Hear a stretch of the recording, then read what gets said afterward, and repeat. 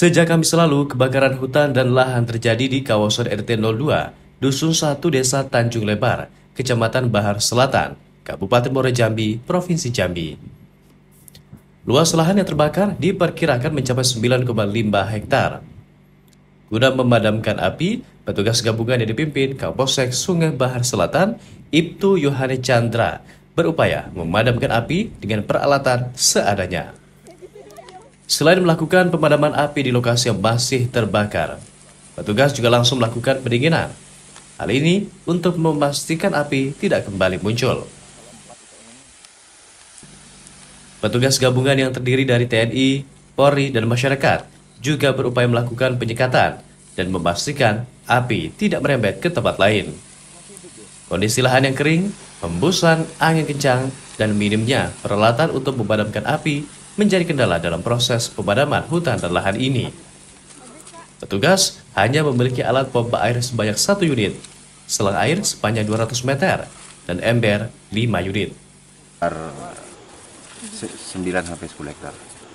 Kalau langkah kita dari kepolisian, kita sudah memeriksa saksi-saksi dan kita sudah serahkan dan limpahkan ke Polres untuk melakukan pendalaman. Ya, kita kesulitan dalam menyiapkan mesin atau ini alat penyemprot.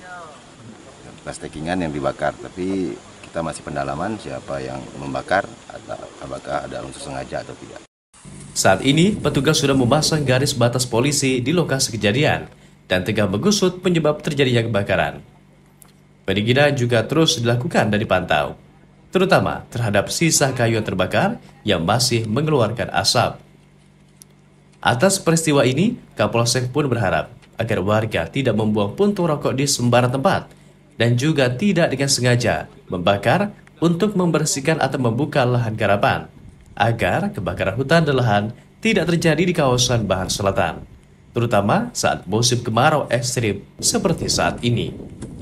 Harapan kami sebagai muspika di sini sama Pak Babinsa, Kades dan Kanit Polsek, kami berharap agar masyarakat jangan membakar sampah sembarangan dan membuka lahan dengan dibakar.